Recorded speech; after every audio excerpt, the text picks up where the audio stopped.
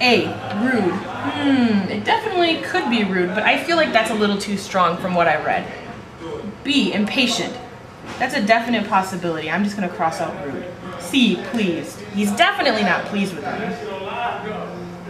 The context clues of the story tell me that he's showing him that he's not really happy. And D. Distant. Hmm. That could be true too. The only reason why I'm going to go with impatient is he definitely interacted with him by telling him the story. So distant implies that he never talked to him at all. So I'm just going to go like that and call it a day. 13. What best describes the stranger's motivation for telling Bullard the story about Thomas Edison's dog? Um, A. To correct a mistaken impression. B. To repay kindness. C. To gain revenge. D. To discourage Bullard from talking to him. Okay, we're looking for what best describes the stranger's motivation. That means that there might be more than one right answer, but we want to find the best answer.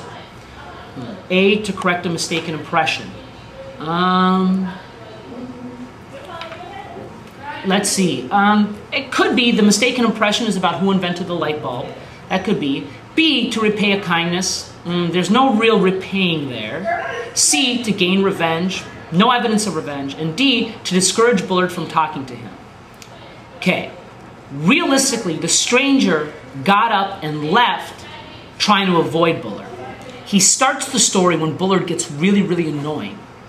So it seems like the stranger told this crazy story just to get Bullard to leave him alone. And also, it's kind of unlikely that the story is true, so it doesn't seem like he's really trying to correct a mistake. So it's definitely D, okay?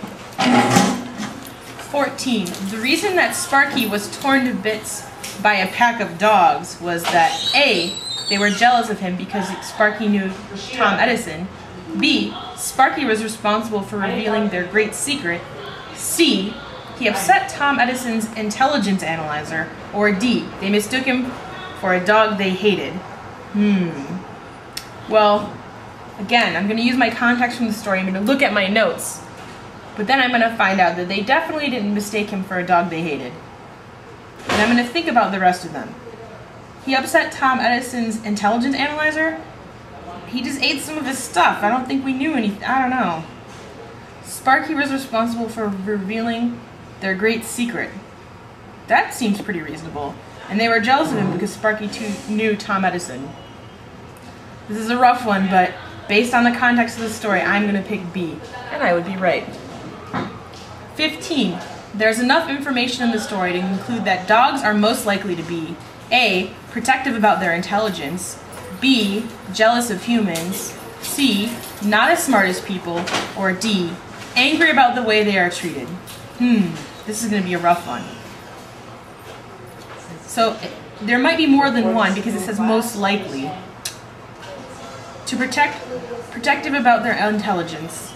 That seems reasonable. Jealous of humans. Well, if they were jealous of human, why would they eat another dog? So I'm going to eliminate that. C. Not as smart as people. Hmm. Angry about the way they were treated. Well, not as smart as people, we know that's untrue because he showed he was smart as Thomas Edison. So, you know what? I think they're being protective, so I'm going to choose A. All right, so we have about two minutes left, which means about 30 seconds per question. So we're going to move a little bit quicker. Uh, number 16, based on the information in the story, a reader can predict that Bullard will most likely A. Rename his dog Sparky. B. Attempt to build a lightning bulb or a light bulb with carbonized cotton. C. To repeat the story to everyone he meets. Or D. Keep the dog secret. Well, looking back at the text, I see that there's a lot of evidence that Bullard loves telling stories. Okay? So the more interesting the story, the more likely it is that he'll tell it. Right? So I definitely think that it's got to be um, repeat the story to everyone he meets. Number 17, read this sentence from page 73. Opportunities knocking down every door in the country trying to get in. Personification in this sentence suggests, and we know from our class that personification means giving human attributes to something that's not human. All right. A. Bullard feels that people are unsafe in their own homes. B. Bullard believes that people today have more chances to be successful than he did. C. Bullard believes that there are not enough opportunities out there. Or D. Bullard believes that opportunities are hidden and hard to find. Well, if they're knocking down every house in the country, they're not they're not hidden or hard. Bullard believes that there's not enough opportunities out there. Well, he says they're knocking down every door. So again, I'm going to get rid of that because that's obviously wrong. Bullard believes that people today have more chances to be successful than he did, or Bullard feels that people are unsafe in their own homes. Knocking down doors with opportunity doesn't necessarily feel like we feel that people are unsafe, but I'm going to choose B based on context, and I'm correct. And I just want to say one more thing about 17.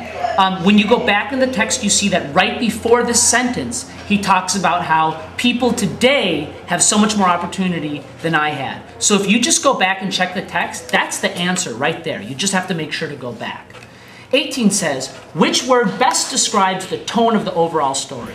The tone is the attitude of the author. So the author, Kurt Vonnegut, his attitude towards the story, could it be fanciful, didactic, sardonic, or absurd? Hmm. I know fanciful means um, imaginative and and uh, and uh, you know fun. So I'm going to say that's a maybe because the story is very imaginative and it's a lot of fun. Didactic, I don't even know what that means. We'll see if we'll see if we need it later on. Sardonic, I'm not sure what it means, but I feel like I remember seeing this word in class, and it was like sarcastic or angry or something like that. It just it just doesn't feel right. And absurd. Absurd means like completely ridiculous. And the story is a little ridiculous, but I don't think absurd is the best word for it. I definitely feel like fanciful is the best way to describe it. Number 19. What word best describes the about the author section on page 74? Again, I'm going to underline best describes because that's the key. Okay, A, flattering. B, critical. C, objective. D, matter of fact. It's going to be very important that I read this at this time because I'm basically out of time.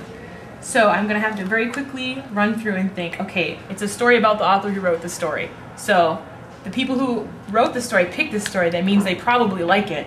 So I'm definitely going to get rid of critical um, again, objective might be, but it's a story about a story that they liked, so they're probably going to be a little more over the top about it. Matter of fact, mm, no, I'm going to choose the most positive thing on the page. Flattering, A, and I'm correct, and I'm done. And also in that, and I just have 30 seconds to double check. In the in the about the author, they talk about all the amazing things and awards that Kurt Vonnegut got. And so it's not objective because it kind of is a little bias in his favor, and that's what really makes it flattering.